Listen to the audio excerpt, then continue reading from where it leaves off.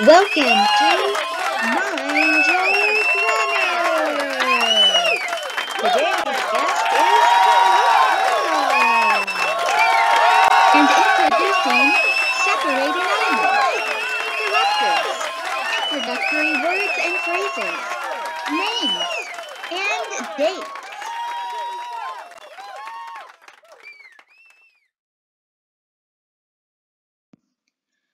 A quick tip. By knowing when to use a comma, you know when not to use a comma.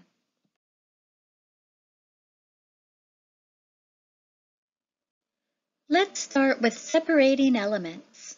It is important to separate elements or ideas in a sentence with a comma. If there are only two elements in a sentence, however, a comma is not necessary. Let's read the first example. I enjoy playing music and knitting. Note that there are no natural pauses in the sentence, and there are only two elements, music and knitting. Therefore, this sentence does not require a comma. The next example has three elements. I enjoy playing music, knitting, and walking. Notice the short pause between each element, including the one before the coordinating conjunction and. A comma is inserted between each element to indicate each pause. The same rule applies for four or more elements or ideas in one sentence. Make sure to place a comma after each one.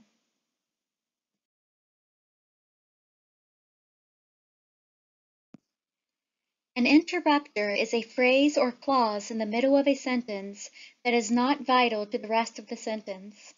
An interrupter simply gives the reader additional information.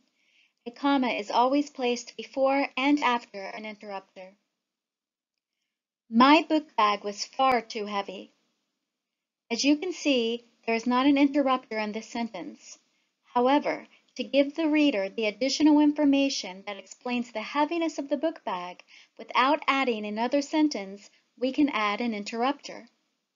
For example, my book bag, which must have weighed at least 15 pounds, was far too heavy. The addition of the interrupter took a simple sentence and turned it into a more complex sentence that offers much more detail. Take note of the comma inserted directly before and after the interrupter. An introductory phrase provides background information, or as its name suggests, introduces the rest of the sentence. Let's look at the example sentence. After watching this video, you will become much more confident with your comma skills. The introductory phrase, after watching this video, has a comma placed directly after it, as all introductory phrases do. Take note that the rest of the sentence can stand on its own without the introductory phrase. The introductory phrase is not essential to the completion of a sentence. Introductory words provide a link or continuity between sentences. Let's look at the example. Furthermore, your interest in other punctuation may increase.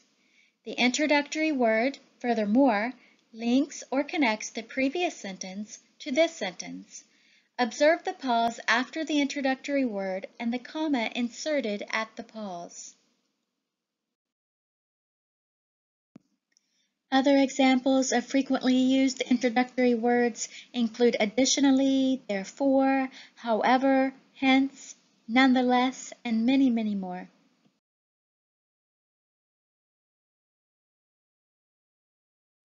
Using commas with names is sometimes required, but not always. Let's start with this example. Millicent is reading the paper. This sentence does not require a comma. There is no pause in this sentence. It is a straightforward and declarative sentence. Let's move on to the next examples. Please take note that I will exaggerate the pauses in the following examples for the benefit of this learning activity.